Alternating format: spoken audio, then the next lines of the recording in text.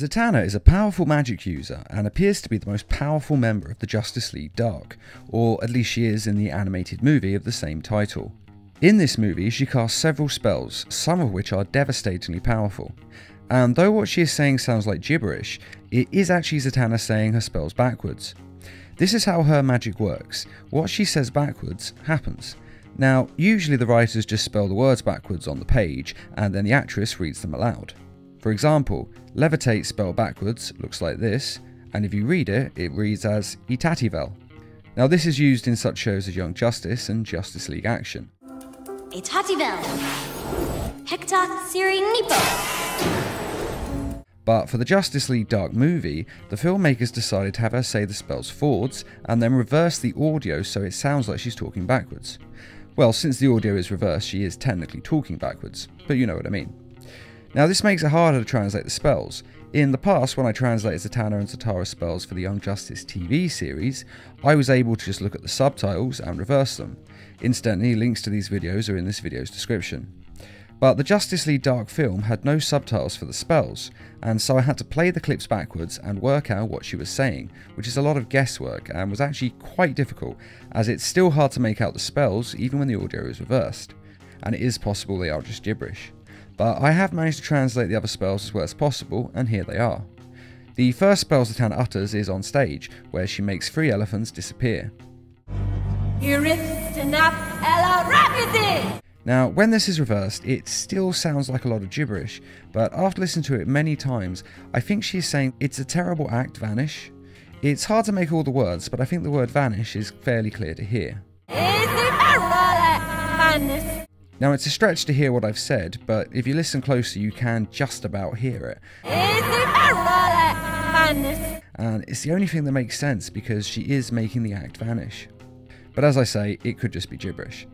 Next, she makes a tree and some rocks disappear from the Batmobile's path. And we play this clip backwards. To me, it sounds like she's saying explode.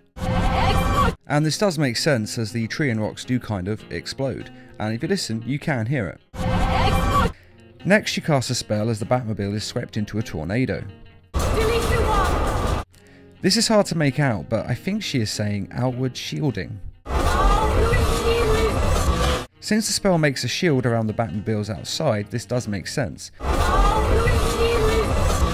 Though as I've said, these spells are very hard to hear and make out, but I can't actually see what else she could be saying. The next spell she does reveals Felix Faust's home.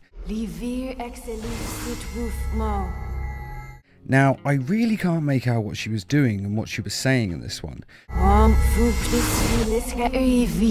The closest I can get is something along the lines of Come Fortress Felix Reveal.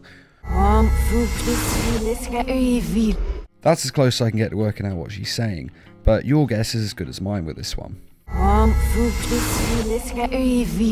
The last spell, thankfully, is a lot clearer. During the fight with Felix Faust, Zatanna loses control and begins to chant to destroy him. By reversing it, we're able to hear what this chant is. And though it is tricky at times to make out, what I think she's saying is, The hottest of cinders, in the woven heart of hell, the Banshee destroy him. Give me the demon bard, the Banshee Raiden, by all the dark hosts of Hades.